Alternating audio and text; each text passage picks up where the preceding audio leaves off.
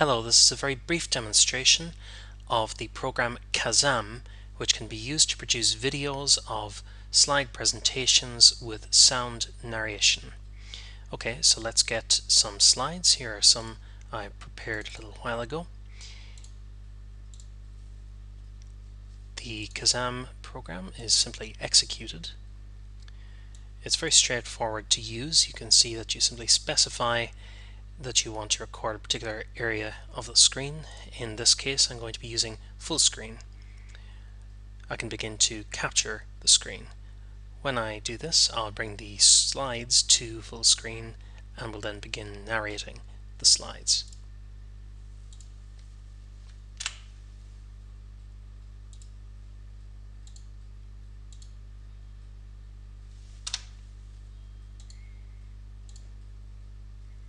This is the first slide.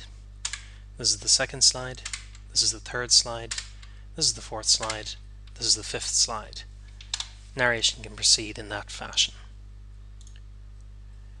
An icon should be visible here.